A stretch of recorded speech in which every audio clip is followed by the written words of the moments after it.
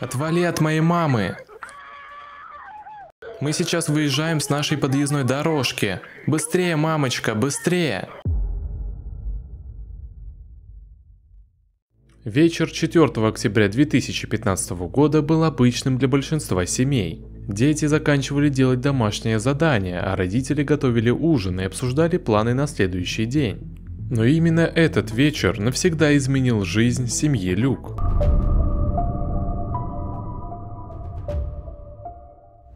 Дэниел и Анджела Люк познакомились, когда оба учились в университете штата Огайо.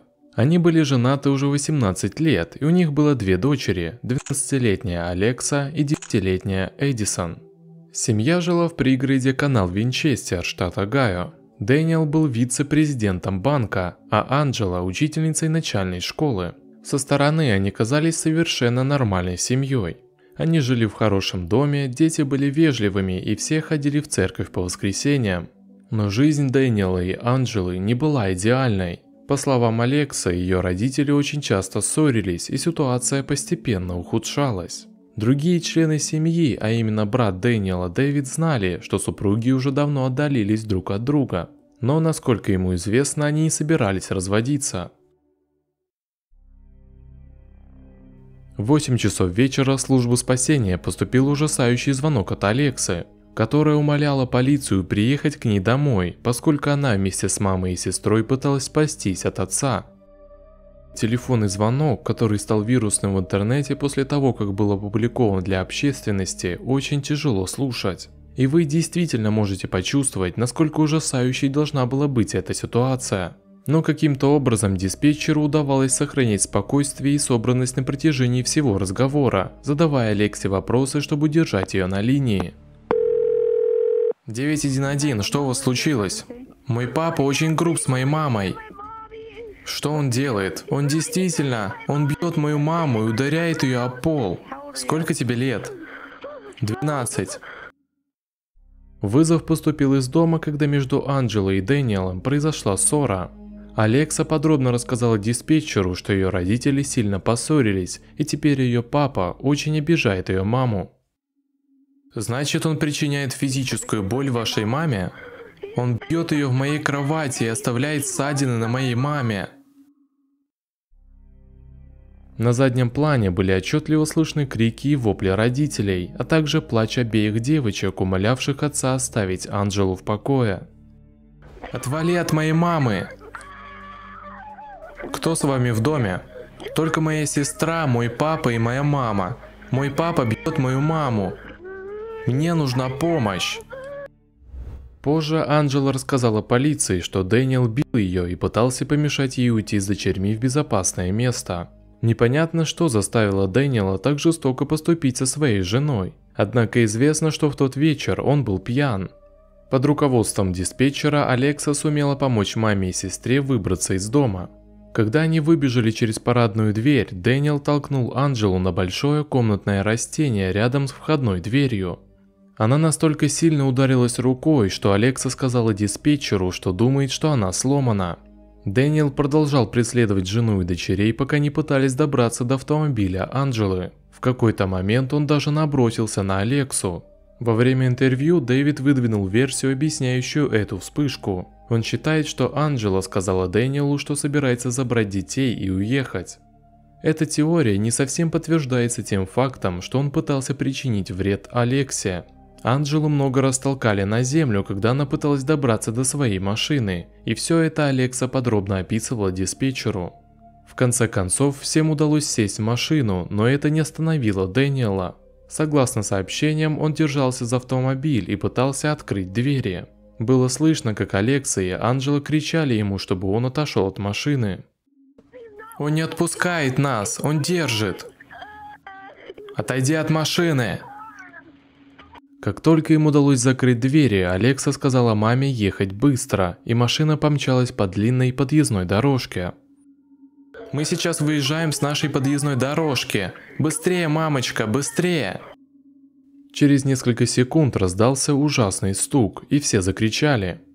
Когда Анджела начала разгоняться, Дэниел все еще держался за машину, и поэтому попал под колеса.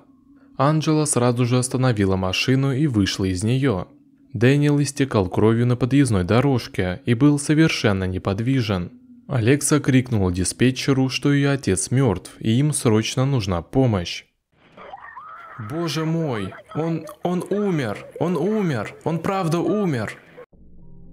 Анджела отвела девочек в соседский дом, пока не ждали приезда полиции. Дэниел каким-то образом выжил, но у него были обширные травмы головы, от которых он скончался через несколько часов после того, как его доставили в больницу. Среди улик, собранных в доме, была машина Анджелы, два мобильных телефона и пропитанное кровью постельное белье из двух спален. Все, что они нашли, совпадало с тем, что Алекса рассказала диспетчеру и что Анджела рассказала полиции во время допроса. Затем Анджела была арестована и обвинена в двух уголовных преступлениях – убийстве при отягчающих обстоятельствах и убийстве по неосторожности. Это стало ужасной новостью для ее друзей и семьи, и дело вызвало много негатива в адрес полиции. Организация Изагая, поддерживающая людей, которым причинили вред их супруги, очень критично отозвалась о реакции полиции на то, что Анджела буквально пыталась спасти свою жизнь и жизнь своих дочерей. Нэнси Нейлон, адвокат организации, сказала, что такое поведение полиции отбивает у людей желание обращаться к ним, так как это говорит жертвам, что если они обратятся, то в беде окажутся они, а не человек, причинивший им вред. Вдобавок ко всему, Анджела была отстранена от работы без сохранения заработной платы на время проведения расследования. После того, как полиция получила негативную реакцию на арест Анджелы, прокурор Грег Маркс был вынужден опубликовать пресс-релиз. Прокуратура округа Фэрфилд рассматривает недавнюю трагедию с учетом выдающейся работы и полного сотрудничества с офисом шерифа округа Фэрфилд и Бюро уголовных расследований. Я уже поговорил с ее адвокатом мистером Джоном Таяком и лично занимаюсь этим делом. После этого они отказались сообщать какие-либо подробности расследования. Школа, в которой работала Анджела, решила восстановить ее на работу сразу после того, как услышала запись звонка в 911, поскольку им было ясно, что она не сделала ничего плохого. И всего через пару дней обвинения с Анджелы были сняты, и она была отпущена на свободу. Похороны Дэниела состоялись через неделю после его смерти, на них присутствовали все его родные и друзья, включая Анджелу и их дочерей. Неоднократно говорилось, что нет никаких доказательств того, что нечто подобное когда-либо происходило раньше. По словам Дэвида, Дэниел был очень предан своей семье, если в доме возникали какие-то проблемы, он старался решить их мирным путем. В интервью он сказал, что по его мнению, его брат просто сорвался, и то, как он вел себя в ту ночь, не было тем Дэниелом, которого он знал. С 2015 года об этом деле почти ничего не сообщалось, возможно потому, что семья остается в тени. Я думаю, что это не то дело, которое они хотели бы постоянно поднимать в СМИ. Несмотря на то, что поступок ее мужа был ужасен, жить с тем, что произошло, должно быть очень тяжело для Анджелы.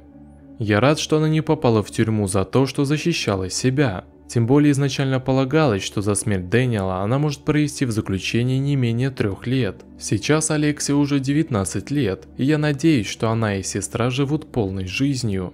В тот день она поступила совершенно правильно, позвонив в полицию.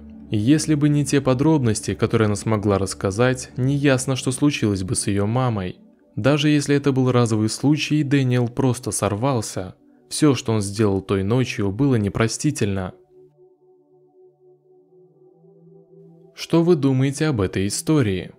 Пишите ваши ответы в комментарии, а также подписывайтесь на мой YouTube канал и на другие социальные сети. Ссылка на них есть в описании и в закрепленном комментарии под видео. Не прощаемся.